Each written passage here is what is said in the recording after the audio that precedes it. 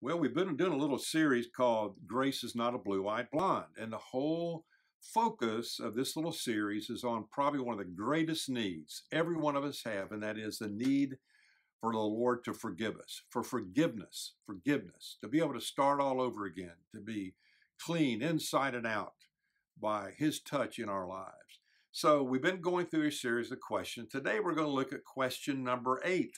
And I do hope you'll go back and, and watch the uh, previous uh, red glasses on this subject. But question eight is What do I do with my sin after I receive Christ?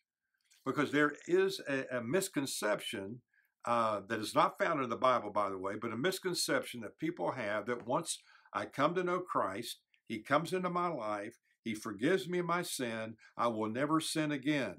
Man, do I wish that were true. It's not true.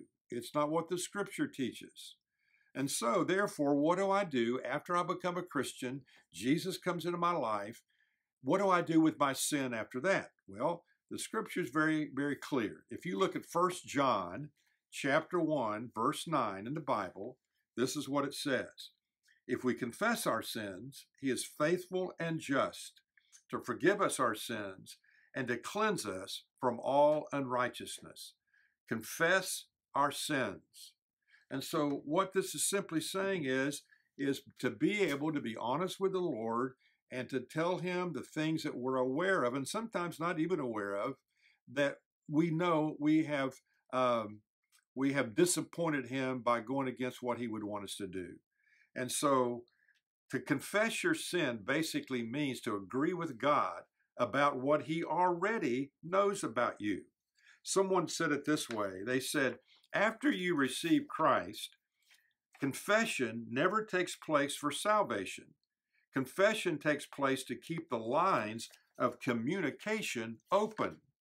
So, in other words, once Christ is in your life, you don't, when you sin, have to ask Christ into your life again. He didn't go anywhere. Once He's in you or me, He's there to stay. He will never leave you nor forsake you.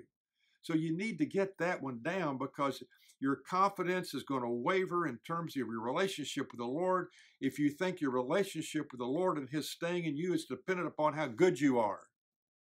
He loves you, comes in, cleans you up, continues to offer forgiveness because He knows we will need it.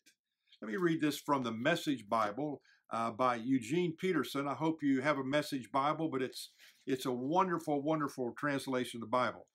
But this is what he says uh, at the end of Psalm 51 in some of his personal remarks on Psalm 51. Alongside the basic fact that God made us good, Psalm 8, is the equally basic fact that we have gone bad, something like the way good fruit goes bad. For our experience of sin consists not in doing bad, but in being bad.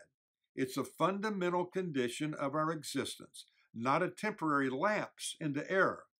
Confessing our sin isn't resolving not to sin anymore. It's discovering what God has resolved to do with us as sinners. And what He has resolved to do is tune us into the foot tapping songs of forgiveness and set our once broken bones to dancing. I like that. You think about it and start dancing.